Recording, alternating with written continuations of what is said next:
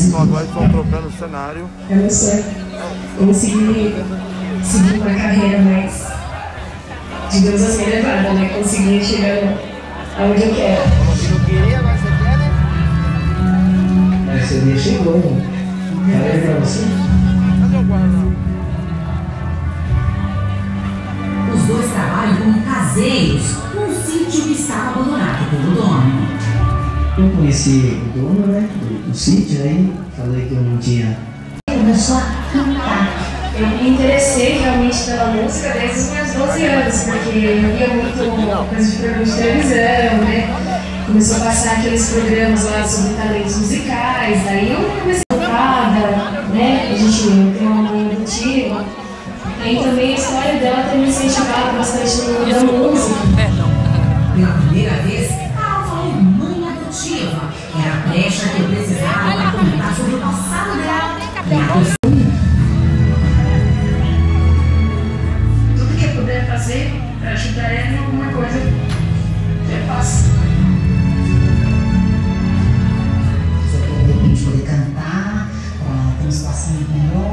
retribuir tudo isso para ela. E sempre foi o que ela fala para você, do seu passado?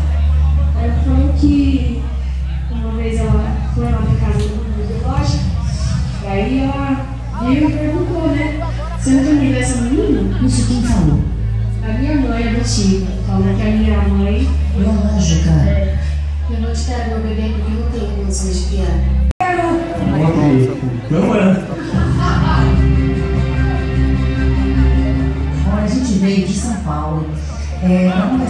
vocês sobre uma jovem talentosa de 21 anos. Eu não sei se você conhece. É Caroline. Conhece? Meu filho é. Tá feliz? Puxa, acho que mais que ela. Coração do pai não. É. Eu sou para ela, os outros, mas eu, eu sou lá e fico meio acanhada.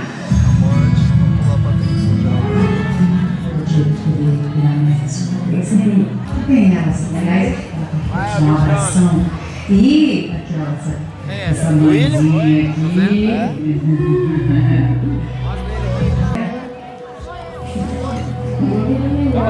Que eu. Poder deixar uma sessão. Vida, aparência. Abre que você Tanto que você pegou, você te colheu. Gabriel, Você queria.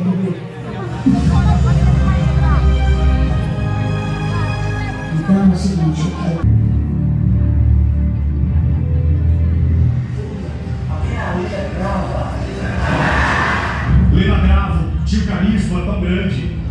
chegou a ser uma das apresentadoras do respeitado programa fantástico da Rede Globo Televisão. Quem está de partida para a Europa é a originalíssima Alcione, que deverá gravar um disco na França. Como não poderia deixar de ser, ela veio deixar o seu adeus aqui no Fantástico.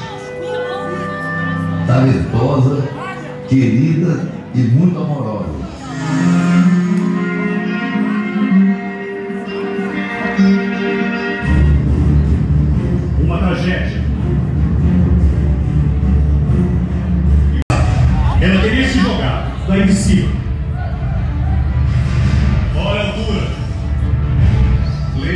Você não pulou daquela suíte. O que aconteceu então? Houve uma tentativa de estupro não, de tirar sua roupa e de manter em relação sexual com você? O que aconteceu naquele quarto, naquela suíte, presidente? Leila Bravo, quebra o silêncio e vai falar com exclusividade ao nosso programa. Doeu para você ficar calado todo esse tempo?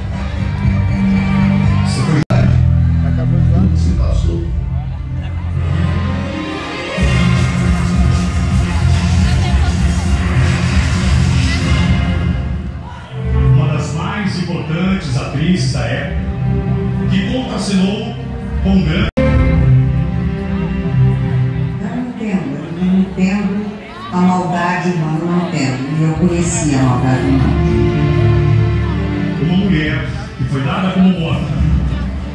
Uma mulher que durante quase um mês lutou pela vida.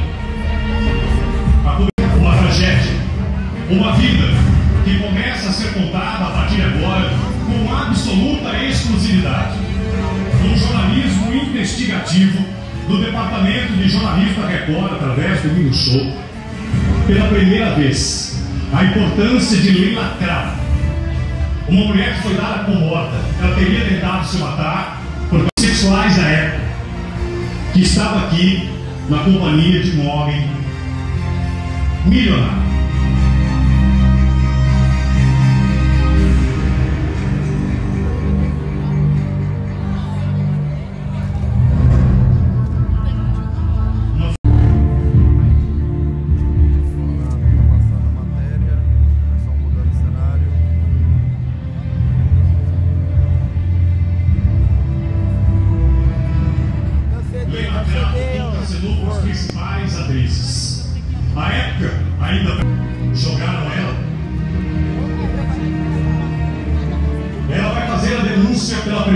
Vez depois de 40 anos do mais absoluto silêncio.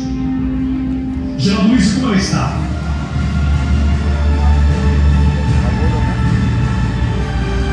Eu vou lá na TV Tupi, aonde ela começou, nos antigos estúdios de TV Tupi, onde É fácil você, você, você ser mãe, colocar o filho no mundo, você pegar seu certificado, não é fácil. Você vai a liberdade, ela disse vou, porque eu filho do Ministério dele, mas ele foi uma mulher que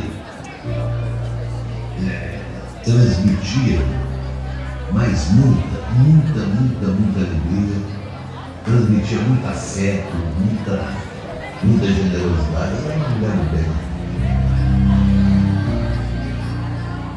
Você acha que a imprensa na época, não estou falando sobre a cobertura, pelo que você, a imprensa errou, erraram com ela. O poder aqui sou eu, Quem falou isso? o ministro. E logo após isso, começou a maior barbárie que eu conheço contra uma mulher. O tamanho era um homem enorme. O ministro era alto, mas a segurança era muito grande. E eles falaram o quê? Vamos, a gente vai tirar roupa, vamos casar. É, fica quietinha, sabe quem manda aqui sou eu. E é estranho. O que eu acho mais chocante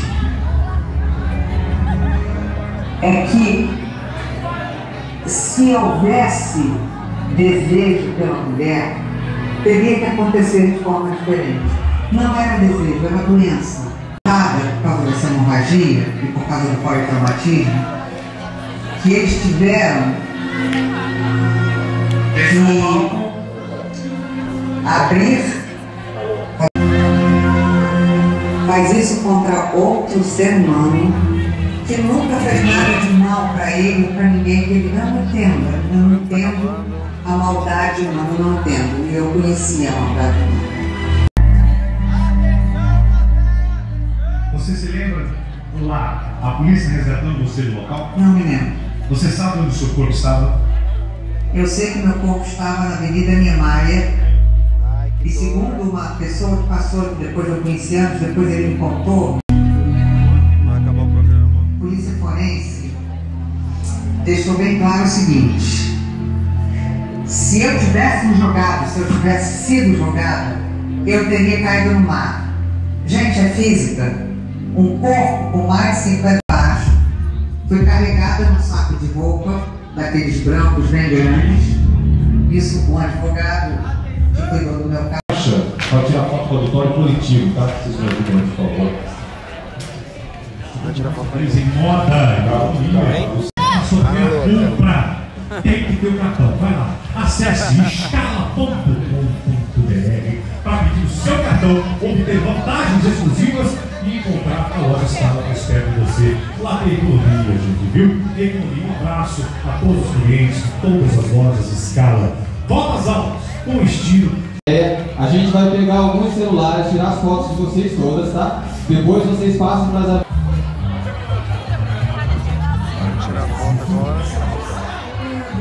Plateia no meio aqui, ó. Plateia no meio. Celulares.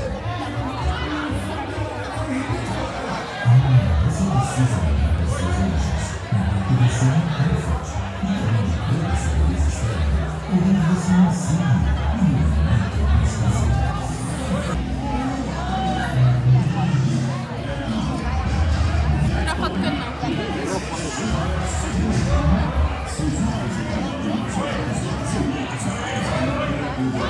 Teve nenhuma tentativa de segurar você. Seguraram. Mas houve uma tentativa de estupro, de tirar sua roupa e de manter em relação sexual com você? Olha, isso eu não lembro. Eu me lembro do começo do espancamento. Agora, pelo que a polícia forense pelo que o exame de corpo de delito mostrou, não houve penetração carnal.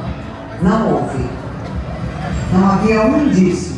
Aí depois no hospital falaram pra você, olha, empresta noticiando, aí a polícia ouviu você depois de quanto tempo? Você se jogou, coisa e tal, eu disse, não joguei nada.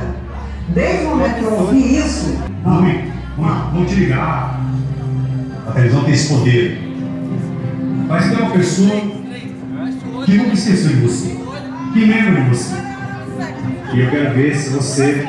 Eu quero, por favor, que você olhe aqui para a câmera. Por favor. Eu quero que você olhe aqui para a câmera e que agora, vamos ver, 40 anos se passaram, vou saber, né? Cara, a cabeça da gente não é mais menos, não é mais você, né? né? Mas eu quero saber se você reconhece essa pessoa.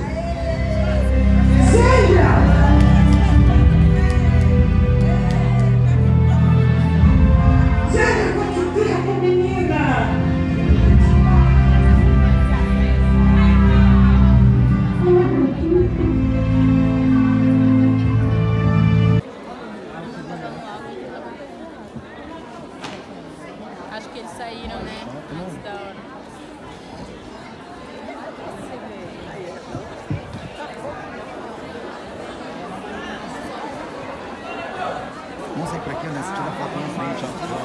Aqui, ó? Sai por aqui.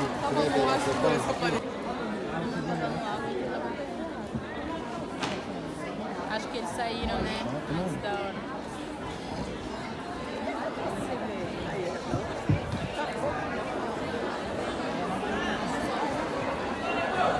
Vamos sair por aqui, né? Você tira foto na frente, ó. Aqui, ó, né? Sai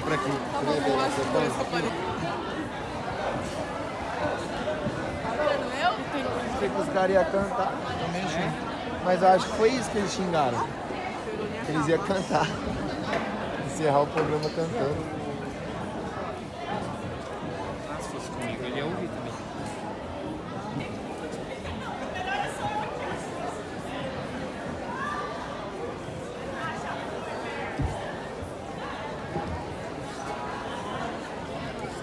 Vou invadir o faro. Faro já gravado, deve ser.